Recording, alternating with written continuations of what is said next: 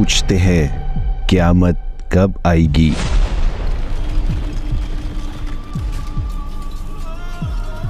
جب آنکھیں چندھیا جائیں گی، جب چاند سیاہ ہو جائے گا، اور جب سورج اور چاند کو لپیٹ دیا جائے گا۔ اس دن لوگ کہیں گے، کیا کوئی فرار کا راستہ ہے؟ نہیں۔ کوئی فرار کا راستہ نہیں، کوئی پناہ کی جگہ نہیں۔ اس دن واحد ٹھکانہ اپنے رب کے سامنے پیش ہونا ہوگا۔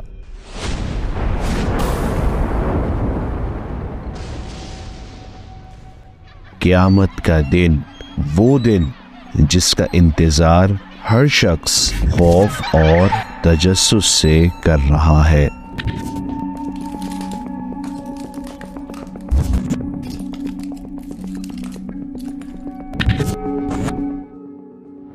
ہم یہ تو نہیں جانتے کہ قیامت کب آئے گی، مگر اتنا معلوم ہے کہ یہ قریب آ چکی ہے۔ کیسے؟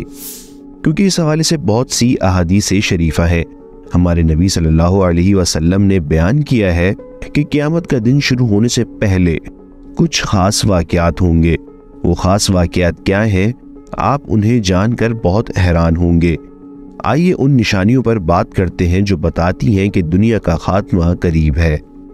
جب آسمان چر جائے گا اور جب ستارے جھڑ پڑیں گے اور جب سمندروں کو ابال دیا جائے گا اور جب قبریں اکھاڑ دی جائیں گی، اس وقت ہر شخص کو پتہ چل جائے گا کہ اس نے کیا آگے بھیجا اور کیا پیچھے چھوڑا۔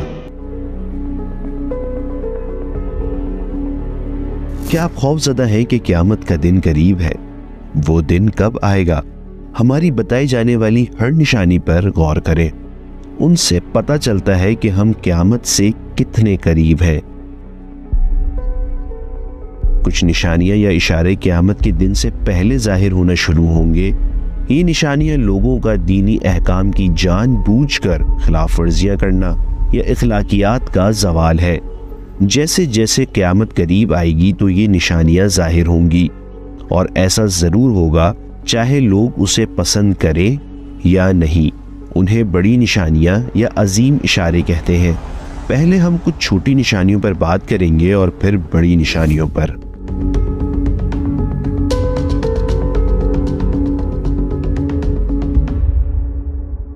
پہلی نشانی در حقیقت پیغمبر محمد صلی اللہ علیہ وسلم کی پیدائش ہے۔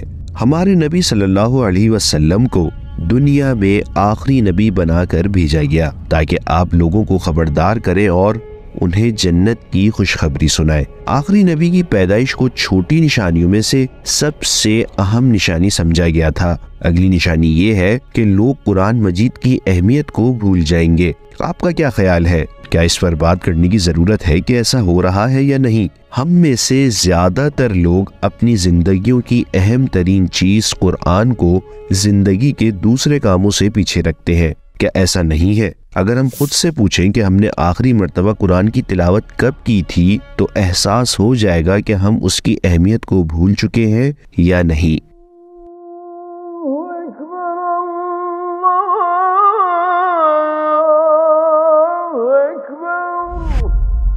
کوئی نماز نہیں پڑھے گا۔ کتنے فیصد لوگ نماز پڑھتے ہیں؟ یہ سمجھنے کے لیے اسکول یا آفس میں اپنے ارد گرد نظر ڈالیں۔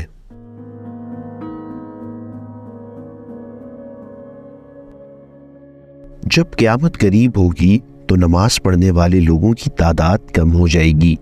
یہ بھی ایک نمایاں نشانی ہے کہ قیامت قریب ہے۔ مسجدوں کو سجایا جائے گا لیکن عبادت کو اتنا اہم نہیں سمجھا جائے گا۔ اللہ پر ایمان رکھنے والوں کی تعداد کم ہوگی اور ایمان کے ارکان کی قدر کم ہو جائے گی۔ اعتماد دلوں سے اٹھ جائے گا، سود پھیل جائے گا۔ تجارت میں ایمانداری ختم ہو جائے گی، فتنے، افواہوں اور جھوٹ کا دور ہوگا۔ اگر آپ غور کریں تو آج کوئی اپنے قریب ترین دوستوں پر بھی اعتماد نہیں کرتا۔ زنا اور شراب نوشی جیسے بڑے گناہ عام ہو جائیں گے۔ مختلف ناموں سے شراب ملے گی، جن میں سے کچھ کو حلال جائز سمجھا جائے گا۔ فحاشی اور اریانی عام ہو جائے گی۔ بری شہرت میں اضافہ ہوگا۔ مردوں کے لیے مرد اور عورتوں کے لیے عورتیں کافی ہوں گی۔ کنجوسی اور لالچ میں اضافہ ہوگا۔ رشتہ داروں کی رشتہ داریاں ٹوٹ جائیں گی۔ ہم اس نشانی کا بوجھ عید کے دنوں میں سب سے زیادہ محسوس کرتے ہیں۔ کیا ایسا نہیں ہے؟ آپ کا کیا خیال ہے؟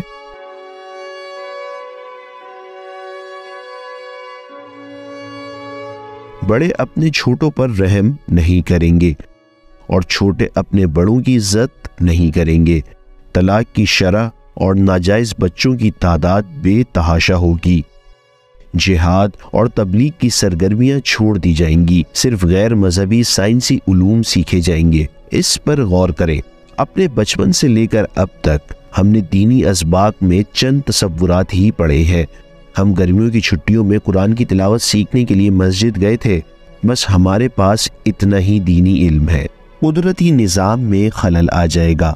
سیلاب، زلزلے، آفتیں، جیسے کہ آتش زدگیاں پوری دنیا میں بڑھ جائیں گی۔ مادنی کانیں تباہ ہو جائیں گی۔ قتل و غارت گری بڑھ جائے گی۔ اونچی اونچی عمارتیں تعمیر کی جائیں گی۔ قدر، تقدیر اور موت کے بعد زندگی سے انکار کیا جائے گا۔ کیا آپ نے مشاہدہ کیا ہے؟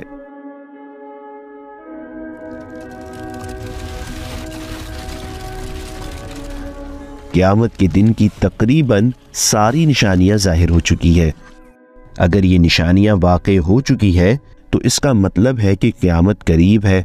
انسانیت اپنے آخری مرحلے میں جی رہی ہے۔ اب قیامت کی بڑی نشانیوں پر بات کر لیتے ہیں۔ دابت الارض، زمین کا جانور۔ اور جب ہماری بات پوری ہونے کا وقت ان لوگوں پر آ پہنچے گا، تو ہم ان کے لیے زمین سے ایک جانور نکالیں گے جو ان سے بات کرے گا کہ لوگ یعنی کافر، ہماری آیتوں پر یقین نہیں رکھتے تھے۔ سورت النمل، آیت نمبر بیاسی۔ دابت الارض کے بارے میں زیادہ تفصیلات نہیں ہے، لیکن قرآن پاک میں یہ کہا گیا ہے کہ یہ زمین سے نکلے گا اور ایمان والوں کو کافروں سے الگ کر دے گا۔ دابت الارض ایک جانور ہے جو قیامت سے کچھ ہی پہلے ظاہر ہوگا، اور اسے قیامت کے دن کی بڑی نشانیوں میں سے ایک سمجھا جاتا ہے۔ اس کی مختلف وضاحتیں ہیں کہ یہ واقعہ کیسے ہوگا۔ عام بات یہ ہے کہ یہ بڑی نشانیوں میں سے ایک ہے اور اچھی خبر یہ ہے کہ اللہ کے حکم سے ایمان والے اس خطرے سے محفوظ رہیں گے۔ یاجوج اور ماجوج۔ یاجوج اور ماجوج کے قبیلے۔ انسانیت کو بے پناہ نقصان پہنچائیں گے اور ان کا شر بھی قیامت کی بڑی نشانیوں میں سے ایک ہے۔ انہوں نے کہا، اے ذلکرنین یاجوج اور ماجوج، اس زمین میں فساد پھیلانے والے لوگ ہیں، تو کیا ہم آپ کو کچھ مال کی پیشکش کر سکتے ہیں جس کے بدلے آپ ہمارے اور ان کے درمیان کوئی دیوار بنا دے سورت القحف آیت چورانوے۔ کتاب مقدس، قرآن پاک میں یہ بیان کیا گیا ہے کہ ذلکرنین کی بنائی گئی دیوار کے ذریعے یاجوج، ماجوج کے فسادی قبیلے دوسرے لوگوں پر حملہ کرنے میں ناکام ہو گئے تھے۔ اور وہ قیامت کے قریب باہر آ جائیں گے اور انسانیت پر حملہ کریں گے۔ یہاں تک کہ جب یاجوج اور ماجوج کو کھول دیا جائے گا اور وہ ہر بلندی سے پھسلتے نظر آئیں گے اور سچا وعدہ پورا ہونے کا وقت قریب آ جائے گا تو اچانک یہ حالت ہوگی کہ جن لوگوں نے کفر اپنا لیا تھا ان کی آنکھیں پھٹی کی پھٹی رہ جائیں گی اور وہ کہیں گے کہ ہائے ہماری کم بختی، ہم اس چیز سے بالکل ہی غفلت میں تھے، بلکہ ہم نے بڑے ستم اٹھائے تھے۔ سورت الانبیاء، آیت چھیانوے اور ستانوے۔ کچھ علماء کی رائے ہے کہ یہ قبیلے وہی تھے جنہوں نے مسلمان ملکوں پر حملہ کیا، ساری لائبریریاں جلا ڈالی، مسلمانوں کے سنہرے دور کا خاتمہ کیا، انہیں دوبارہ اندھیرے میں دھکیل دیا، جو کہ منچورین اور منگول تھے۔ قیامت قریب آتے آتے لوگوں کے ایسے قبیلے بھی آئیں گے جو فسادی ہوں گے اور یاجوج ماجوج کی حیثیت سے زمین پر خوب دہشت پھیلائیں گے۔ بے شک اللہ ہی سب سے بہتر جانتا ہے۔ دجال روایات میں دجال کے ظہور کو دنیا کے خوفناک ترین واقعات میں سے ایک تسلیم کیا جاتا ہے۔ احادیث میں دجال کو ایک جھوٹا، مکار اور بدی اور اچھائی، صحیح اور غلط کو خلط ملت کرنے والا بیان کیا گیا ہے۔ ایسا شخص جو کسی چیز کی اصلیت چھپانے کے لیے اسے اوپر سے سجاتا ہے۔ دجال بہت سے ہے ہر صدی میں ایک دجال پیدا ہوتا ہے۔ ایک حدیث شریف سے ہمیں معلوم ہوتا ہے کہ یہ تعداد تیس ہوگی۔ قرب قیامت کے دجالوں کی سب سے خاص حیثیت ہے۔ ان میں سے ایک بڑا دجال ہے، جبکہ دوسرا اسلام کا دجال سفیان ہے۔ روایات کے مطابق سفیان مسلمانوں میں سے ہی نکلے گا۔ لوگوں کی آخرت کی زندگی تباہ کرنے کے لیے۔ فحاشی اور حرام پھیلانے کی منافقانہ کوشش کرے گا۔ خود کو مسلمانوں کا خیر خواہ ظاہر کرنے کے لیے وہ کچھ دینی آدمیوں کو دھوکہ دے گا اور انہیں اپنا حمایتی بنا لے گا۔ وہ لوگوں کو دھوکہ دے کر اپنے کفر، بے حیائی، فضولیات اور جھوٹ کو قائم رکھے گا۔ بہرحال، ہر کوئی دجال اور سفیان کو نہیں پہچان سکتا۔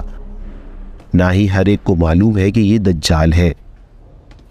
اسے ایمان والے ذہن اور اس ذہن سے پیدا ہونے والی مستقبل بینی سے ہی جانا جا سکتا ہے۔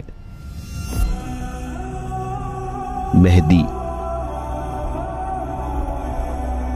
اہل بیت کی اولاد میں سے مہدی ظاہر ہوں گے اور اسلامی دنیا کو متحد کر کے اس زمین پر عدل کا نظام رائج کریں گے۔ ساری برائیاں ختم ہو جائیں گی اور انصاف قائم ہوگا۔ مہدی کو ایک عظیم شخصیت کے طور پر بیان کیا گیا ہے۔ جو قرب قیامت میں آئیں گے، وہ اللہ کی طرف سے سچے راستے پر ہوں گے۔ وہ لوگوں، خصوصاً مسلمانوں کو سچے راستے پر چلائیں گے۔ وہ ظلم اور ناانصافی سے بھر جانے والی دنیا میں انصاف قائم کریں گے۔ وہ کافروں اور شکی اور کچے پکی ایمان والوں کو اندھیروں سے نکالیں گے۔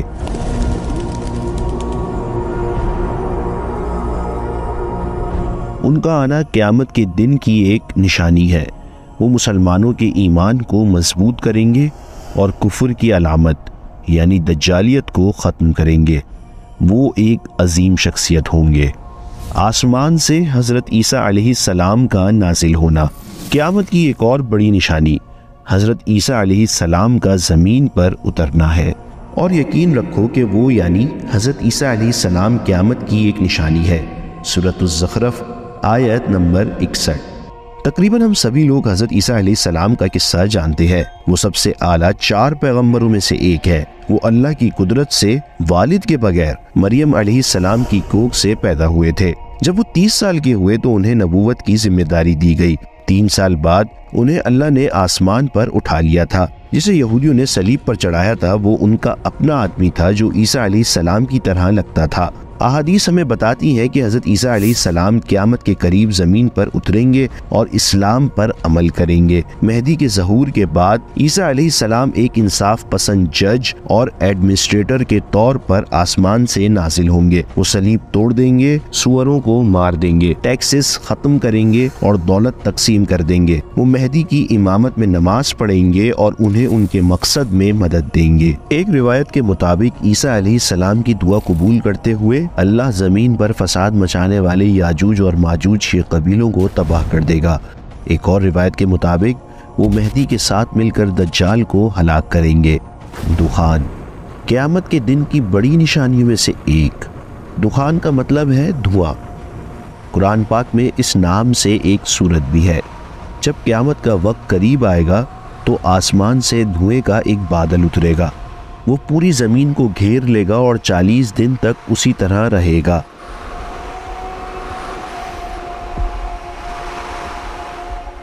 وہ انتہائی گرم ہوگا۔ ایمان والے اس دھوئیں سے ذرا سے متاثر ہوں گے جیسے کہ وہ معمولی گرم ہو۔ اور کافر اور منافقین ایسے ہلا ڈالے جائیں گے جیسے کہ نشے میں ہو۔ سورج کا مغرب سے طلوع ہونا یہ قیامت کے دن کی سب سے بڑی نشانیوں میں سے ایک ہے۔ اگر آپ اس بارے میں سوچیں تو کائناتی اجسام اپنے اپنے مداروں میں مسلسل بالکل ٹھیک ٹھیک راستوں پر چل رہے ہیں۔